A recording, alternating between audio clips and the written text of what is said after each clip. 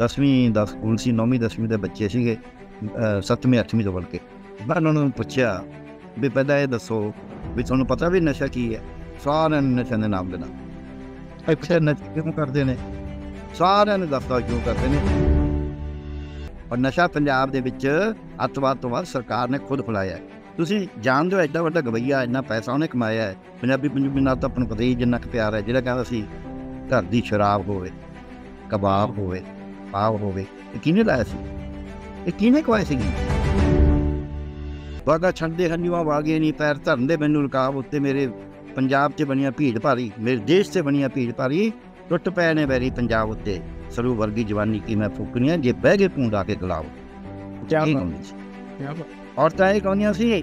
ਮਹਾਰਾਣੀ ਜਿੰਦਾ ਅੰਟਾ ਰੌਣ ਕਹਿੰਦੀ ਹੈ ਮੈਂ ਸੀਨੀ ਹਾਂ ਪੰਜ ਦਰਿਆ ਦੀ ਮੈਨੂੰ ਕਲੀ ਨਾ ਜਾਣੀ। ਜੇ ਮੈਨੂੰ 75 76 ਸਾਲ ਦੀ 75 ਸਾਲ ਦੀ ਉਮਰ 'ਚ ਗੁੱਸਾ ਆ ਜਾਂਦਾ ਹੈ ਵੀ ਯਾਰ ਇਹ ਇਦੋਂ ਤਾਂ ਇਹ ਜੇ ਮੁਲਕ 'ਚ ਰਹਿਣ ਦਾ ਕੀ ਫਾਇਦਾ ਹੈ? ਤਾਂ ਜਿਹੜਾ ਆ 20 ਸਾਲ ਦਾ ਨੌਜਵਾਨ ਆ ਜਦ ਉਹਨੂੰ ਪੁੱਠਾ ਬੋਲਦੇ ਕੋਈ ਉੱਥੇ ਬਾਬੂ ਬੈਠਾ ਜਾਂ ਕੋਈ ਅਫਸਰ ਉਹ ਤਾਂ ਸੋਚੂ ਵੀ ਮੈਂ ਹੁਣੀ ਇਹ ਕਿ ਸੰਤਰ ਚੱਕਣਾ ਪਰ ਤੇਜ ਪੰਨੂ ਹੋਰਾਂ ਨੇ ਸ਼ੁਰੂ ਕਰੀ ਸੀ ਮਹਮ ਕਾਲੇ ਚਿੱਟੇ ਵਾਲੀ ਉਹ ਐ ਕਾਗ ਫਟ ਸੀ ਕਈ ਜਗ੍ਹਾ ਤੇ ਮੈਨੂੰ ਲੋਕਾਂ ਨੇ ਬਣਾਇਆ ਕਿ ਜਿੱਥੇ ਝੰਡੀ ਦੇ ਦੋ ਬਿਲਕੁਲ। ਕਰਨਾ ਹੈ। ਉਹ ਕਈ ਗਲਤੀਆਂ ਹੋ ਰਹੀਆਂ ਸੀ ਉਹ ਗਲਤੀਆਂ ਰੋਕਣ ਦੀ ਕੋਸ਼ਿਸ਼ ਕਰੀ ਸੀ ਪਰ ਇਹ ਗਏ ਕੈਪਟਨ ਕੋਲੇ ਕਾਫੀ ਪੀ ਕੇ ਮੈਂ ਬੰਦ ਕਰ ਤੇ ਲੋਕਾਂ ਨੂੰ ਗੁੰਮਰਾਹ ਕਰਦਾ ਰਿਹਾ ਵੀ ਕੋਈ ਨਹੀਂ ਸਾਨੂੰ ਪਰਮਿਸ਼ਨ ਮਿਲ ਜੂ ਬੱਚੇ ਫੀਸਾਂ ਦਿੰਦੇ ਰਹੇ ਹੂੰ। ਉਹ ਹੁਣ ਬੰਦ ਹੋ ਗਿਆ 15000 ਬੱਚੇ ਦਾ ਕੈਰੀਅਰ ਖਰਾਬ ਹੋ ਗਿਆ ਉਹਨਾਂ ਚੋਂ ਕੁਛ ਤਾਂ ਜਾਣਗੇ ਨਸ਼ਾ 'ਚ। ਮੈਂ ਉਹਨੂੰ ਸਵਾਲ ਇਹ ਕਰਿਆ ਸੀ ਵੀ ਕੀ ਨਸ਼ਾ ਨਸ਼ਾ ਖਾਣਾ ਨਾ ਨਸ਼ਾ ਚੜਾਉਣ ਵਾਸਤੇ ਨਹੀਂ ਕਹਿ ਸਕਦਾ ਕੀ ਕੋਈ ਪਾਪ ਕਰਕੇ ਬੰਦਾ ਨਹੀਂ ਕਹਿ ਸਕਦਾ ਯਾਰ ਮੈਂ ਤਾਂ ਪਾਪੀ ਹਾਂ ਮੈਂ ਤਾਂ ਡੁੱਬ ਗਿਆ ਤੁਸੀਂ ਬਚ ਜਾਓ ਜੇ ਡਰੱਗ ਇੰਸਪੈਕਟਰ ਤੱਕ ਨੂੰ ਮਾਰਿਆ ਜਾ ਸਕਦਾ। ਜਨਰਲ ਅਥਾਰਟੀ ਨੂੰ ਉਹਦੇ ਦਫ਼ਤਰ 'ਚ ਇਹ ਪੁਲਿਸ ਉਹਦੇ ਤੇ ਜੋ ਕਾਰਵਾਈ ਕਰਕੇ ਹੈ, ਉਸ ਕਾਰਵਾਈ ਨੂੰ ਪਬਲਿਕਲੀ ਜਸਟੀਫਾਈ ਕਰਦੇ ਨੇ ਸੈਮੀਨਾਰ ਕਰਕੇ। ਮੈਂ ਮੰਨਦਾ ਵੀ ਹਾਂ ਇਹਨਾਂ ਨੇ ਮਾਨਸਾ ਦੀ ਗੱਲ ਹੈ ਮਾਨਸਾ ਦੀ ਪੁਲਿਸ ਨੇ ਮੀਟਿੰਗਾਂ ਕਰਕੇ ਕਿਹਾ ਵੀ ਤੁਸੀਂ ਕੋਪਰੇਟ ਕਰੋ ਪਰ ਨਸ਼ਾ ਛਡਾਉਣਾ ਉਸੇ ਮਾਨਸਾ ਤੇ ਉਹਨੇ ਝੋਟੇ। ਮਾਨਸਾ ਦੇ ਵਿੱਚ ਉਹਦਾ ਟੈਸਟ ਹੁੰਦਾ ਉਹ ਚ ਮਾਰਫਿਨ ਪੋਜ਼ਿਟਿਵ ਪਾਈ ਜਾਂਦੀ ਹੈ। ਜੋ ਲਿਖਦੇ ਨੇ ਉਹ 17 ਜਨਵਰੀ ਨੂੰ ਅਰਜੀ ਦਿੰਦਾ ਉਹਦਾ ਐਫੀਡੇਵਿਟ ਟੈਸਟ 4 ਜਨਵਰੀ ਦਾ ਹੋਇਆ ਹੋਇਆ। ਉਹੀ ਉਹੀ ਅਰਜੀ 4 ਜਨਵਰੀ ਚ ਟੈਸਟ ਦਾ ਉਹ ਲੱਗ ਗਏ। ਕੋਈ ਕਹਿੰਦਾ ਮੈਂ 16000 ਅੰਦਰ ਕਰਤਾ, ਦੂਜਾ ਕਹਿੰਦਾ ਮੈਂ 20 ਅੰਦਰ ਕਰਤਾ, ਤੀਜਾ ਕਹਿੰਦਾ ਮੈਂ 25000 ਅੰਦਰ ਕਰਤਾ। ਨਸ਼ੀ ਨਹੀਂ ਬਾਤ। ਸਤਿ ਸ਼੍ਰੀ ਅਕਾਲ ਜੀ, ਮੈਂ ਗੁਰਪ੍ਰਤਾਪ ਸਿੰਘ ਤੇ ਤੁਸੀਂ ਜੁੜੇ ਹੋਏ ਹੋ ਸਰਬੱਤ ਦੇ ਨਾਲ। ਅੱਜ ਅਸੀਂ ਰੂਬਰੂ ਹੋਣ ਜਾ ਰਹੇ ਹਾਂ ਡਾਕਟਰ ਪਿਆਰੇ ਲਾਲ ਗਰਗ ਜੀ ਦੇ ਨਾਲ, ਜੋ ਕਿ ਕਿਸੇ ਵੀ ਜਾਣ ਪਛਾਣ ਦੇ ਮੁਹਤਾਜ ਨਹੀਂ। ਤੇ ਉਹਨਾਂ ਨਾਲ ਗੱਲ ਕਰਾਂਗੇ ਅੱਜ ਪੰਜਾਬ ਦੇ ਵਿੱਚ ਵਾਧੇ ਨਸ਼ਿਆਂ ਨੂੰ ਲੈ ਕੇ। ਤੇ ਪੰਜਾਬ ਦੇ ਵਿੱਚ ਨਸ਼ਿਆਂ ਦਾ ਕਾਰਨ ਕੀ ਹੈ? ਤੇ ਹਰੇਕ ਸਰਕਾਰ ਨਸ਼ਾ ਛਡਾਉਣ ਲਈ, ਨਸ਼ਾ ਬੰਦ ਕਰਨ ਲਈ ਜਿਹੜਾ ਹਮਲਾ ਮਾਰਦੀ ਹੈ, ਵਾਅਦੇ ਕਰਦੀ ਹੈ, ਤੇ ਉਹ ਕਿੱਥੇ ਆ ਕੇ ਫੇਲ ਹੋ ਜਾਂਦੀ ਹੈ? ਤੇ ਸਾਡਾ ਪ੍ਰਸ਼ਾਸਨ ਕਿੱਥੇ ਖੜਾ? ਹੈ ਤੇ ਸਾਨੂੰ ਲੋਕਾਂ ਨੂੰ ਇਸ ਸੰਬੰਧ ਦੇ ਵਿੱਚ ਕੀ ਕਰਨਾ ਚਾਹੀਦਾ ਤਾਂ ਜੋ ਇਸ ਅਲਾਮਤ ਤੋਂ ਸਾਡਾ ਖਹਿੜਾ ਛੁੱਟ ਸਕੇ?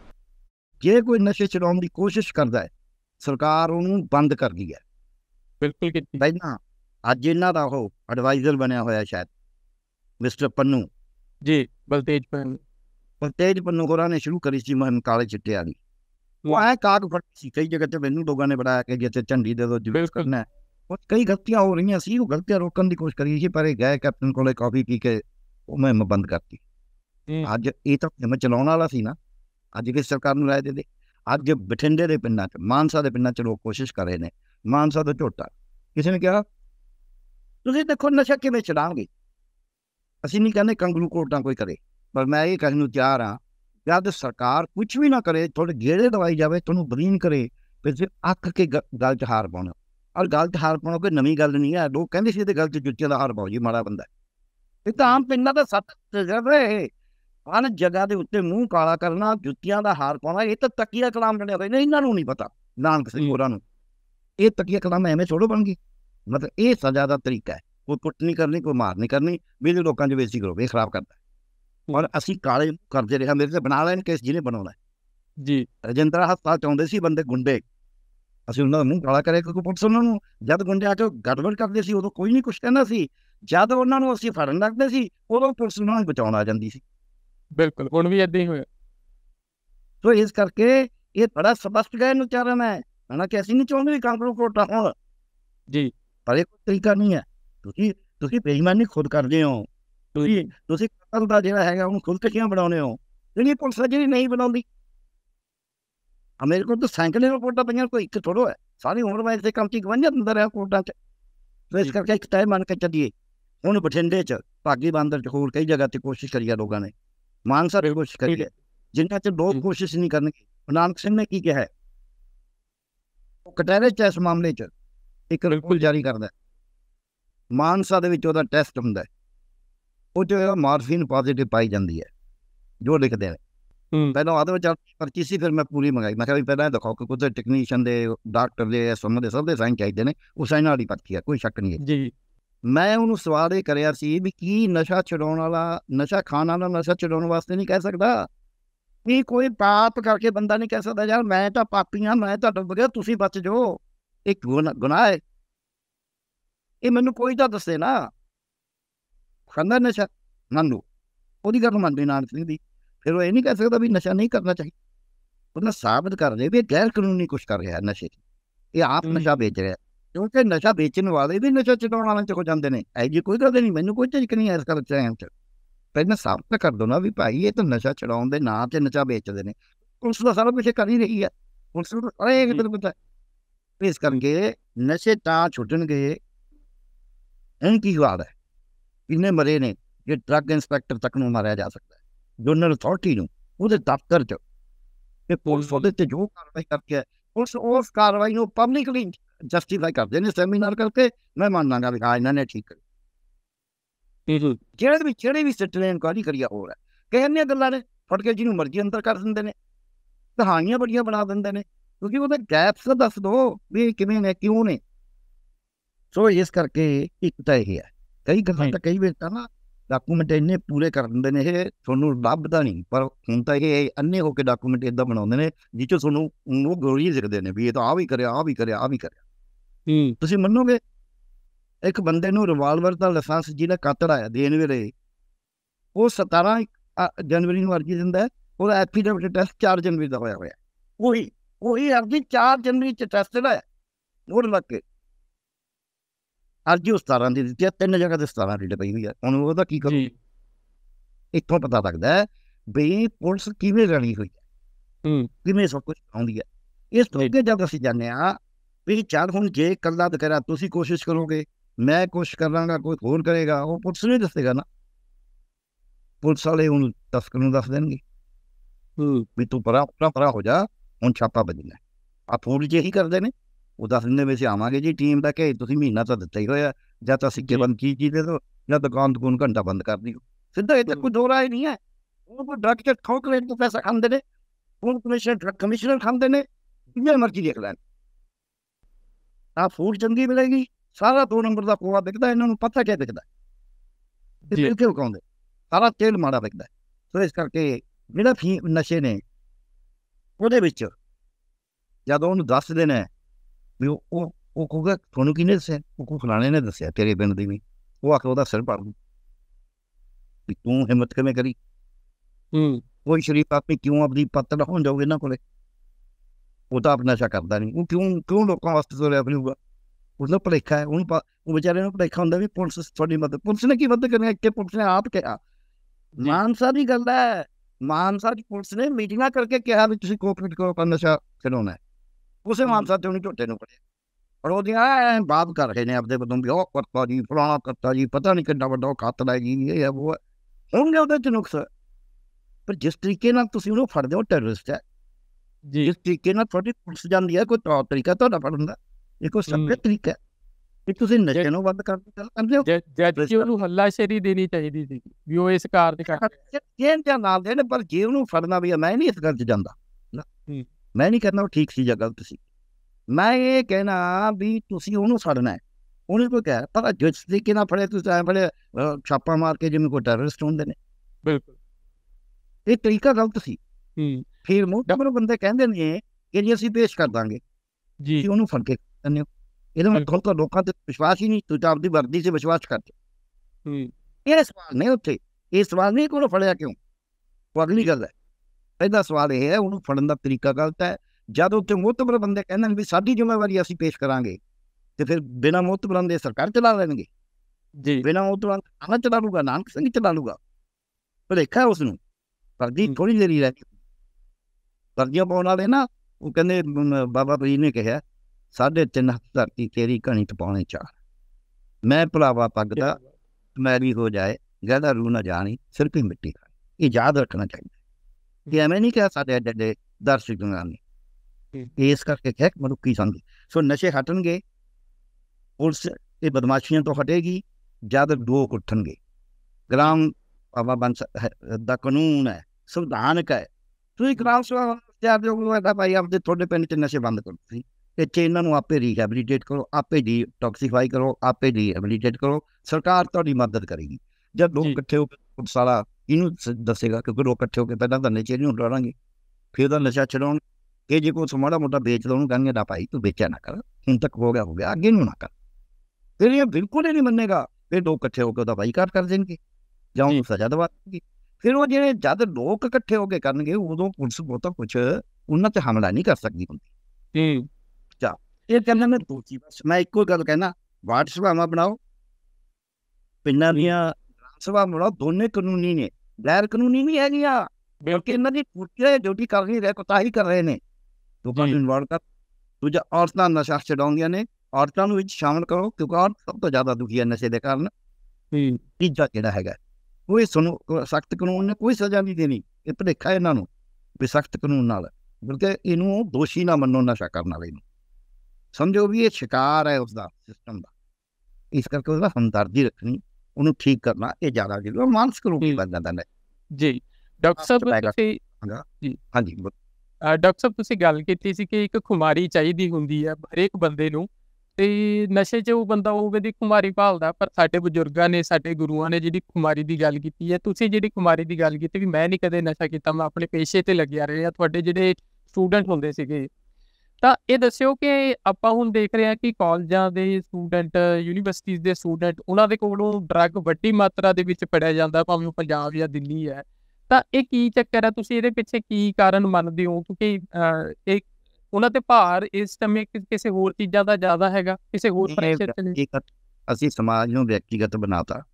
ਨਸ਼ੇ ਦਾ ਜਿਹੜਾ ਸਵਾਲ ਹੈ ਮੈਂ ਆ- ਦੋ ਕੁ ਮਹੀਨੇ ਹੋ ਗਏ ਮੈਨੂੰ ਕਿਸੇ ਨੇ ਕਿਹਾ ਜੀ ਕਿ ਸਕੂਲ 'ਚ ਨਸ਼ਿਆਂ ਦੇ ਉੱਤੇ ਲੈਕਚਰ ਦੇਣਾ। ਮੈਂ ਕਿਹਾ ਮੈਂ ਤੁਹਾਡੀ ਤਰ੍ਹਾਂ ਲੈਕਚਰ ਨਹੀਂ ਦੇਣਾ। ਵੀ ਬੁੜੇ ਹੁੰਦੇ ਨੇ ਜੀ ਨਸ਼ੇ ਨਸ਼ੇ ਛੱਡਣੇ ਚਾਹੀਦੇ ਨੇ।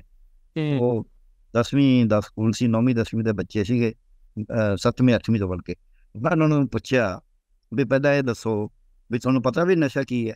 ਸਾਰਿਆਂ ਨੇ ਨਸ਼ੇ ਦੇ ਨਾਮ ਦੇਣਾ ਅੱਛਾ। ਨਸ਼ੇ ਕਿਉਂ ਕਰਦੇ ਨੇ? ਸਾਰਿਆਂ ਨੇ ਦੱਸਦਾ ਕਿਉਂ ਕਰਦੇ ਨੇ? ਇੱਕ ਵੀ ਕਾਰਨ ਨਹੀਂ ਜਿਹੜਾ ਡਾਕਟਰ ਨਾ ਕਹਿੰਦੇ ਹੁਣ ਜਾਂ ਨਵਾਂ ਕਹਿੰਦੇ ਹੁਣ ਸਾਰੇ ਉਹਨਾਂ ਨੂੰ ਪਤਾ ਹੈ। ਕੋਈ ਕਹਿੰਦਾ ਜੀ ਖੁਸ਼ੀ ਬਣਾਉਣ ਵਾਸਤੇ ਕਰਦੇ ਨੇ ਕੋਈ ਕਹਿੰਦਾ ਜੀ। ਦਰਦ ਦੂਰ ਕਰਨ ਵਾਸਤੇ ਕਰਦੇ ਨੇ।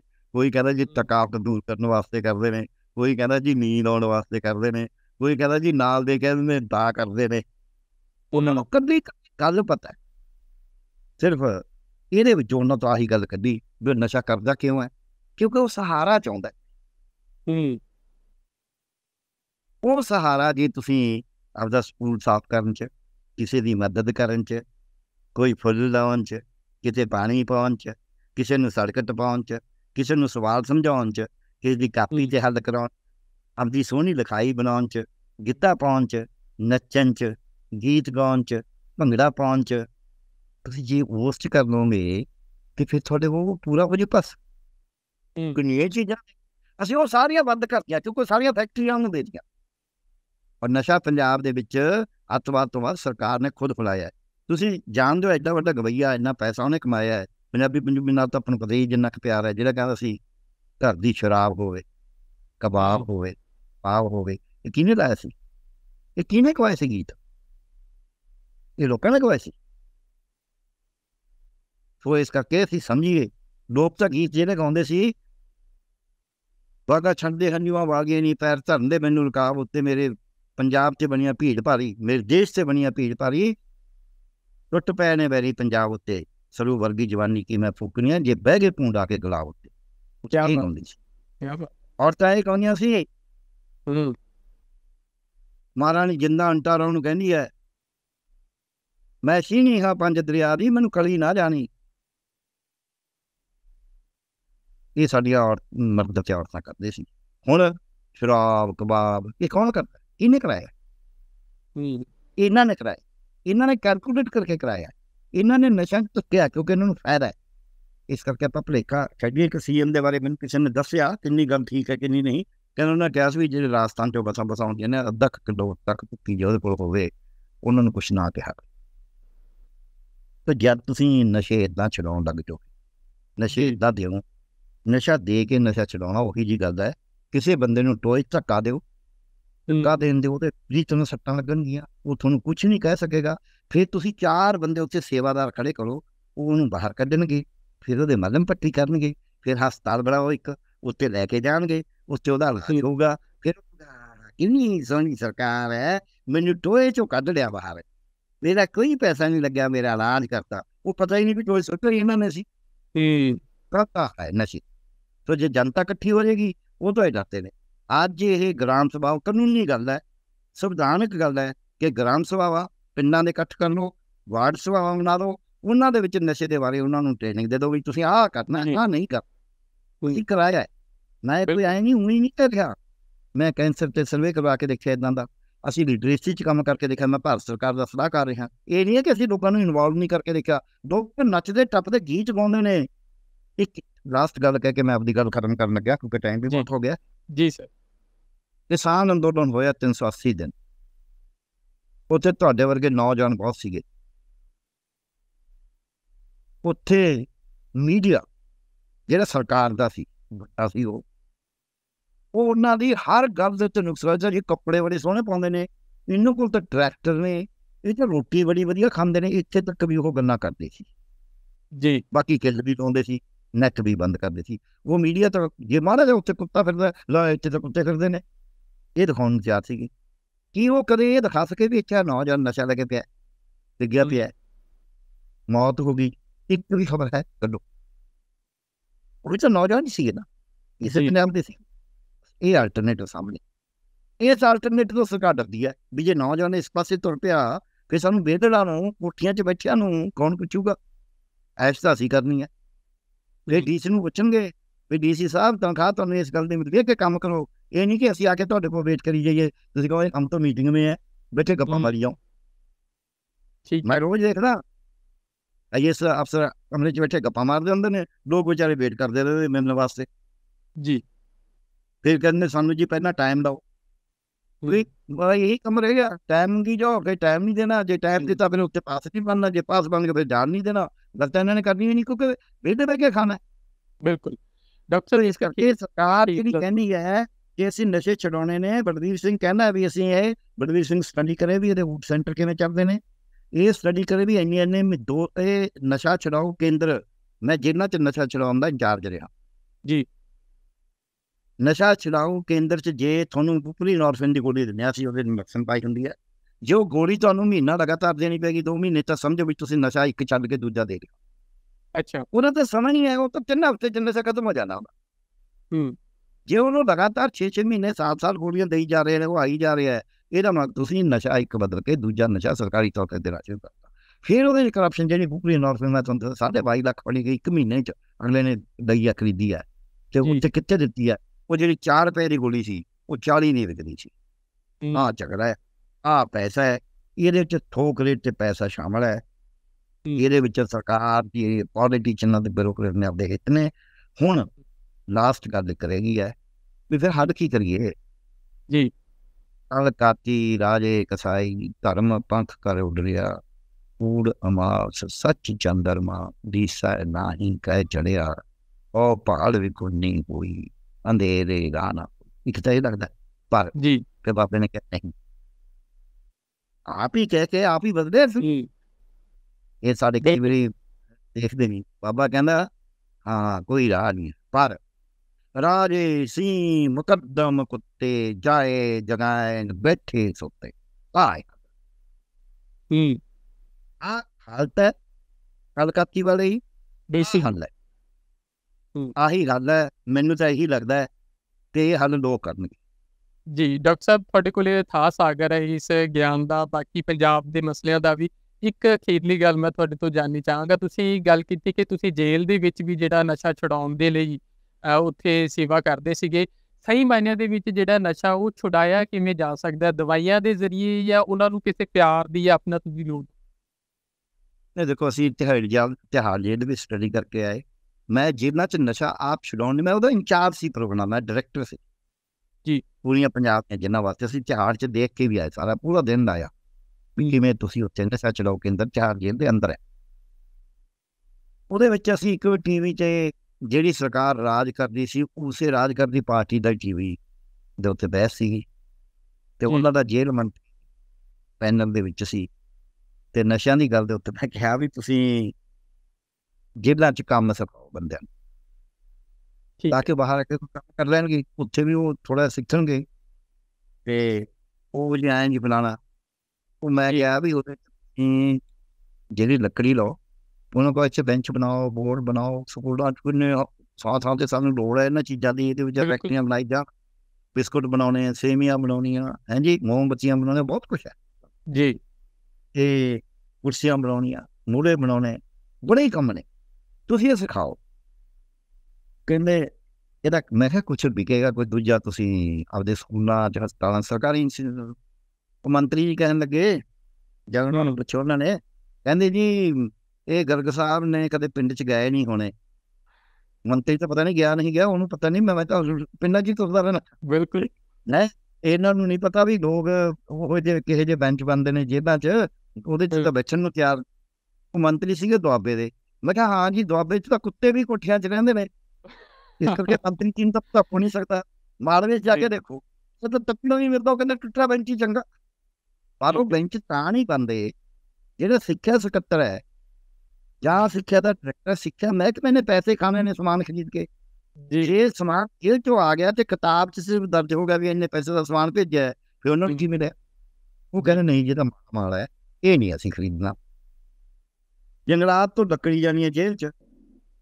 ਤੇ ਜੰਗਲਾਤ ਵਾਲਾ ਲੱਕੜੀ ਦਾ ਵਪਾਰ ਕਰਕੇ ਪੈਸੇ ਖਾਂਦਾ। ਉਹ ਕਹਿੰਦਾ ਜੀ ਜੇਲ੍ਹ ਨੂੰ ਭੇਜ ਫਿਰ ਤਾਂ ਕਿਤਾਬ 'ਚ ਲਿਖਿਆ ਹੋ ਵੀ ਇੰਨੀ ਇੰਨੀ ਦੀ ਲੱਕੜੀ ਗਈ ਹੈ। ਮੈਨੂੰ ਕੀ ਮਿਲਿਆ? ਹੂੰ। ਜੇਲ੍ਹ ਵਾਲਾ ਉਹ ਲੱਕੜੀ ਨਹੀਂ ਖਰੀਦਦਾ ਉਹ ਮਾੜਾ ਮੋਟਾ ਵੇਚਦਾ ਵੀ ਹੈ ਉਹ ਦੋਵੇਂ ਪਾਸੇ ਪੈਸੇ ਖਾ ਰਿਹਾ। ਉਹ ਕਹਿੰਦਾ ਜੀ ਉੱਥੋਂ ਲੱਕੜੀ ਆ ਗਈ ਹੈ ਇੱਥੋਂ ਸਮਾਨ ਬਣ ਕੇ ਚਲਾ ਗਿਆ ਮੈਨੂੰ ਕੀ ਮਿਲਿਆ?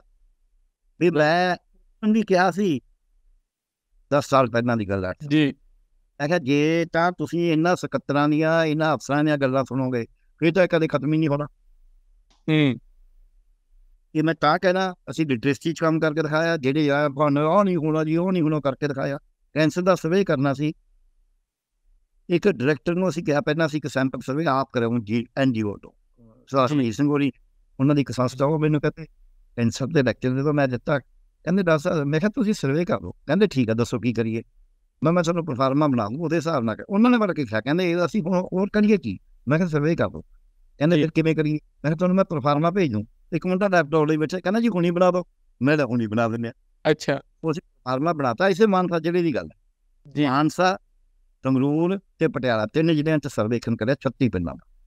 ਉਹਦੀ ਰਿਪੋਰਟ ਦਿੱਤੀ ਅਸੀਂ ਤੇ ਉਸ ਤੋਂ ਬਾਅਦ ਜਦ ਇਹ ਰਿਪੋਰਟ ਦਿੱਤੀ ਤੇ ਉਹਦੇ ਵਿੱਚ ਡਾਇਰੈਕਟਰ ਨੂੰ ਉਹਨਾਂ ਨੇ ਪੁੱਛਿਆ ਪੱਤਰਕਾਰਾਂ ਨੇ ਪ੍ਰੈਸ ਕਾਨਫਰੰਸ ਸੀ ਉਹ ਡਾਇਰੈਕਟਰ ਕੋਲ ਚਲੇ ਗਿਆ ਬਾਅਦ ਡਾਇਰੈਕਟਰ ਕਹਿੰਦਾ 200 ਕਰੋੜ ਰੁਪਏ ਚਾਹੀਦਾ। ਇਹ ਤਾਂ ਸਰਵੇਖਣ ਤਾਂ ਹੋ ਤੋ। ਕੈਂਸਰ ਚੋਂ ਪੈਸੇ ਆਉਂਦੇ ਹੁਣ ਵੀ ਕਹਿੰਦੇ ਨੇ। ਤੇ ਮੈਂ ਡਾਇਰੈਕਟਰ ਸੀਗਾ ਜਦ। ਮੈਂ ਨਾ ਤਨਖਾਹ ਨਹੀਂ ਲੈਂਦਾ ਸੀ ਮੈਂ ਨਹੀਂ ਕੋਈ ਤਨਖਾਹ ਲੈਣੀ ਕਿਉਂਕਿ ਮੈਂ ਮੈਂਟਲ ਆਇਆ ਸੀ ਇੱਕ ਕਿਸਮ ਦਾ ਕਹਿ ਕੇ ਵੀ ਨਹੀਂ ਤੁਹਾਨੂੰ ਆਣਾ ਹੀ ਨਾ। ਤੇ ਮੈਂ ਕਿਹਾ ਮੈਂ ਫਿਰ ਆ ਨਹੀਂ ਗਈ ਬਿਨਾਂ ਤਨਖਾਹ ਦੇ ਕੰਮ ਕਰ ਤੇ ਡੂਢ ਕਰੋੜ ਦੇ ਵਿੱਚ ਮੈਂ ਸਾਰਾ ਘਰ ਘਰ ਦਾ ਸਰਵੇਖਣ ਕਰਕੇ ਦਿੱਤਾ। 45000 ਵਰਕਰ 9000 ਸੁਪਰਵਾਈਜ਼ਰ ਲਾ ਕੇ 1300 ਵਰਕਸ਼ਾਪਾਂ ਚ ਟ੍ਰੇਨ ਕਰਕੇ 40 40 ਪੈਸੇ ਦਾ ਹੈਂਡ ਆਊਟ ਕਲਰਡ ਹਰ ਘਰ ਚ ਦੇ ਕੇ 54 ਲੱਖ ਘਰ ਚ 5 ਲੱਖ ਚੋਂ। 2 ਕਰੋੜ 70 ਲੱਖ ਦੀ ਵਾਦੀ ਦਾ ਕੰਦੇ ਕੰਦੇ ਦਾ ਡਾਟਾ ਕੰਦੇ ਕੰਦੇ ਪ੍ਰਸਾਰਮੇ ਭਰੇ ਹੋਏ। ਡੇਢ ਕਰੋੜ ਜਿਹੜਾ ਪਚਵੰਜਾ 200 ਪੈਸੇ। ਕਰੋੜ ਮੰਗਦੇ ਸੀ। ਜਿਹਦਾ 200 ਕਰੋੜ ਕਹਿੰਦੇ ਸੀ ਹੋਣਾ ਫਿਰ ਵੀ ਸੀ। ਹੂੰ। ਤਾਂ ਮੈਂ ਕਹਿਣਾ ਕੰਮ ਪੈਸੇ ਦੀ ਕੋਈ ਘਾਟ ਨਹੀਂ ਮੈਨ ਪਾਵਰ ਦੀ ਕੋਈ ਘਾਟ ਨਹੀਂ ਕੰਮ ਕਰਨਾ ਨਹੀਂ ਚਾਹੁੰਦੇ ਮਨ ਹਰਾਮੀ ਹੁਜਤੀ ਢੇਰ। ਨੀਅਤ ਨਹੀਂ ਨਹੀਂ ਤਾਂ ਉਹਦੇ ਨਾਲ ਕੰਮ ਹੋਣਾ ਵੀ ਇੱਛਾ ਵੀ ਨਹੀਂ। ਤੇ ਪੈਸਾ ਇਕੱਠਾ ਕਰਨਾ ਇੱਕ ਦੂਜੇ ਨੇ ਆਪਦੀ ਨੈਟਵਰਕਿੰਗ ਕਹਿੰਦੇ ਨੇ ਇਹ ਇੱਕ ਦੂਜੇ ਨੂੰ ਇਹ ਨੈਟਵਰਕਿੰਗ। ਕਰਦੇ ਰਹਿੰਦੇ ਨੇ ਕਿ ਭਾਈ ਇੱਧਰ ਆ ਜਾਈਏ ਉੱਧਰ ਆ ਜਾਈਏ ਐਂ ਕਰ ਦਈਏ ਹੁਣ ਤੁਸੀਂ ਕਹਿੰਦੇ ਹੋ ਨਸ਼ੇ ਕਿਉਂ ਨਹੀਂ ਵਧਣਗੇ ਆ ਪੰਜਾਬੀ ਯੂਨੀਵਰਸਿਟੀ ਨੇ ਡਿਸਟੈਂਸ ਐਜੂਕੇਸ਼ਨ ਦਾ ਫੀਸ ਨਹੀਂ ਭਰੀ ਕਿਉਂਕਿ ਵਾਈਸ ਚਾਂਸਲਰ ਨੇ ਐਜੂਕੇਸ਼ਨ ਸ਼ੁਰੂ ਕਰੀ ਹੋਈ ਸੀ ਸਰਕਾਰ ਦੇ ਖਿਲਾਫ ਉਹਨੇ ਯੂਨੀਵਰਸਿਟੀ ਕੰਮ ਬੰਦ ਕਰਤਾ ਆਪ ਹੀ ਉਹ ਫੀਸ ਨਹੀਂ ਜੀ। ਭਰੀ ਜਾਣ ਕੇ ਨਹੀਂ ਭਰੀ ਉਹਦੇ ਬੰਦ ਕਰਨ ਕਰਕੇ ਨਹੀਂ ਭਰੀ ਤੇ ਲੋਕਾਂ ਨੂੰ ਗੁੰਮਰਾਹ ਕਰਦਾ ਰਿਹਾ ਵੀ ਕੋਈ ਨਹੀਂ ਸਾਨੂੰ ਪਰਮਿਸ਼ਨ ਮਿਲ ਜੂ ਉਹ ਬੱਚੇ ਫੀਸਾਂ ਦਿੰਦੇ ਰਹੇ। ਉਹ ਹੁਣ ਬੰਦ ਹੋ ਗਿਆ 15000 ਬੱਚੇ ਦਾ ਕੈਰੀਅਰ ਖਰਾਬ ਹੋ ਗਿਆ। ਉਹਨਾਂ ਚੋਂ ਕੁਛ ਤਾਂ ਜਾਣਗੇ ਨਸ਼ਿਆਂ 'ਚ। ਨਹੀਂ ਉਹ ਪੜ੍ਹਨ ਤੇ ਆ ਜਾਂਦੇ। ਤੁਸੀਂ ਤਾਂ ਜਿਹੜੇ ਆਪਸ਼ਨ ਦਾ ਵੇਲੇ ਪਤਾ ਉਹਨੂੰ ਨਹੀਂ ਵਰਤਦੇ ਜਿਹੜੀ ਤੁਹਾਡੇ ਕੋਲ ਹੈਗੀ ਹੈ। ਤੁਸੀਂ ਉਹ ਵਰਤਨ ਨੂੰ ਤਿਆਰ ਨਹੀਂ। ਇਹ ਸਰਕਾਰ ਕਰ ਲੈ ਜਿਹੜਾ ਕੁਝ ਕਰਨਾ ਹੈ।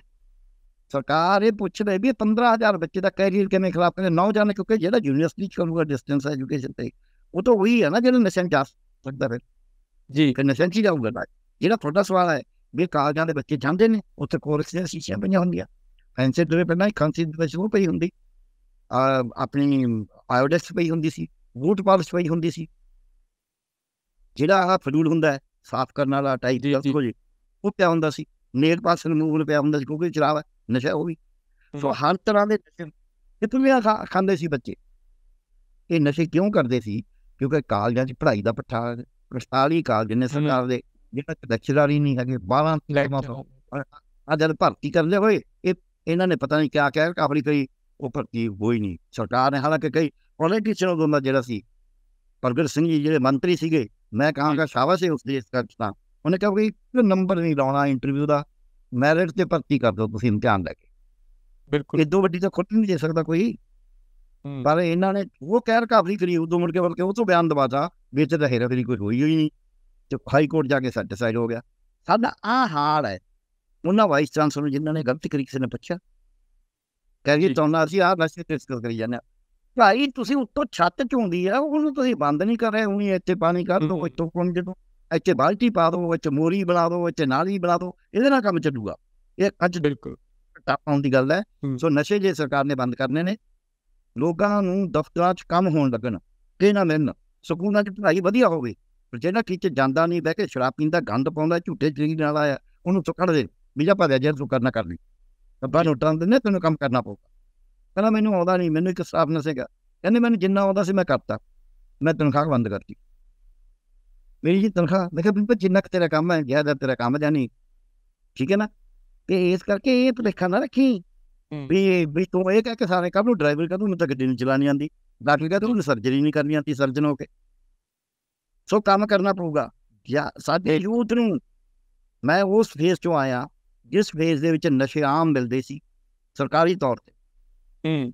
ਤੇ ਤਾਂ ਵੀ ਲੋਕ ਮੈਂ ਸਿਗਰਟਾਂ ਤਾਂ ਆਮ ਮਿਲਦੀਆਂ ਸੀ ਨਾ ਮੈਂ ਤਾਂ ਤੰਬਾਕੂ ਪੀਂਦੇ ਦੇਖੇ ਨਹੀਂ ਬੰਦੇ।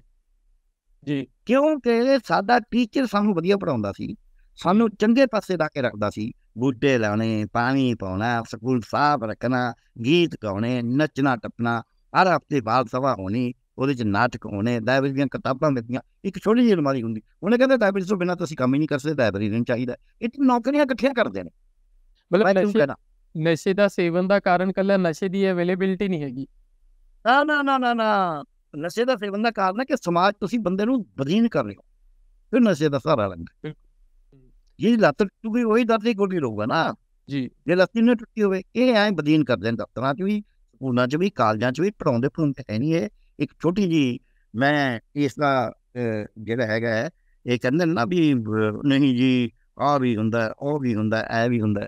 ਇਹ ਸਾਰੇ ਗੱਪ ਨੇ ਜੇ ਤੁਸੀਂ ਠੀਕ ਤਰੀਕੇ ਨਾਲ ਬੰਦੇ ਨੂੰ ਗਰੋ ਕਰਦੇ ਹੋ ਗਰੋ ਮਾਪੇ ਇਕੱਲੇ ਨਹੀਂ ਕਰ ਸਕਦੇ ਮਾਂ। ਬਾਪ ਬੱਚੇ ਅਧਿਆਪਕ ਸਭ ਦੀ ਸਮਾਜ ਦੀ ਪੂਰੀ ਭੂਮਿਕਾ ਹੈ ਸਮਾਜ ਦੇ ਵਿੱਚ ਜਿਹੜੇ ਇਸ ਨੂੰ ਚਲਾਉਣ ਵਾਲੇ ਨੇ ਉਹ ਰਕਸ਼ਕ ਜਿਹੜੇ ਨੇ ਉਹ ਪਕਸ਼ਕ ਬਣ ਗਏ ਜਦ ਰਕਸ਼ਕ ਪਕਸ਼ਕ ਬਣ ਗਏ ਤੇ ਫਿਰ ਕੱਲ ਕਾਪੀ ਹੋ ਗਈ ਨਾ ਬਿਲਕੁਲ ਰਾਜੇ ਕਸਾਈ ਹੋ ਗਏ ਨਾ ਫਿਰ ਉਸ ਕਸਾਈ ਰਾਜੇ ਨੂੰ ਦੱਸਣਾ ਪੈਂਦਾ।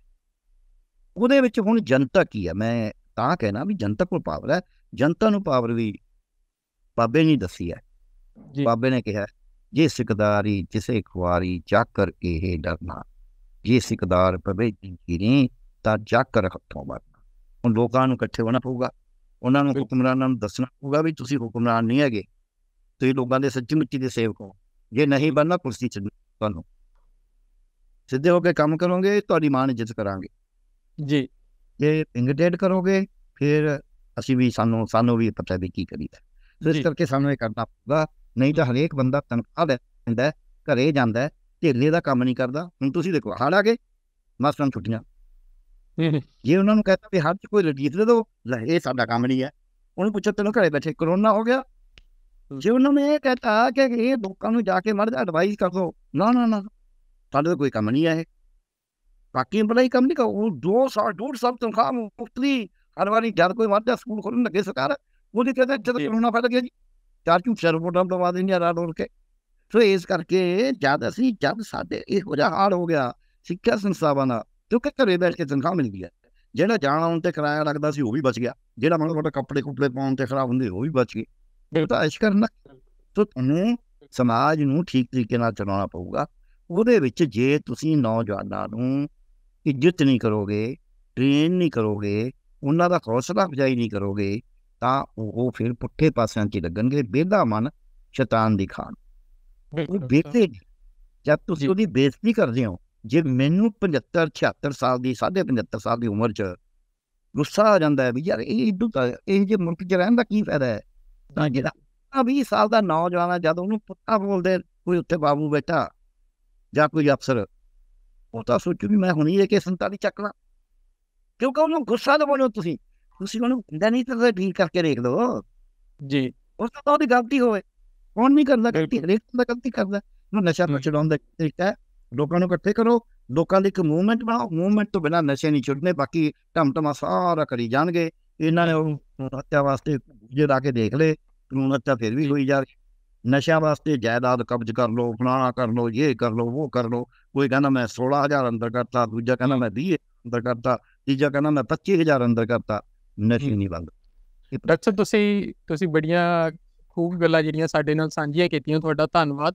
ਤੇ ਗੱਲ ਜਿਹੜੀ ਤੁਸੀਂ ਅਗਲੀ ਛੇੜ ਦਿੱਤੀ ਹੈ ਕਿ ਨਸ਼ਿਆਂ ਲਈ ਲਾਮਬੰਦ ਹੋਣਾ ਪੈਣਾ ਵੀ ਲੋਕਾਂ ਨੂੰ ਤੇ ਉਹ ਵੀ ਕਿਵੇਂ ਹੋਇਆ ਜਾਵੇ ਇਹ ਵੀ ਅਸੀਂ ਜ਼ਰੂਰ ਚਾਹਾਂਗੇ ਕਿ ਕਿਸੇ ਅਗਲੀ ਲੜੀ ਦੇ ਵਿੱਚ ਤੁਸੀਂ ਸਾਨੂੰ ਸਾਡੇ ਸਰੋਤਿਆਂ ਨੂੰ ਜ਼ਰੂਰ ਜਾਣਕਾਰੀ ਦਿਓ। ਹਾਂਜੀ ਬਹੁਤ ਧੰਨਵਾਦ। ਮਿਹਰਬਾਨੀ। ਸਤਿ ਸ਼੍ਰੀ ਅਕਾਲ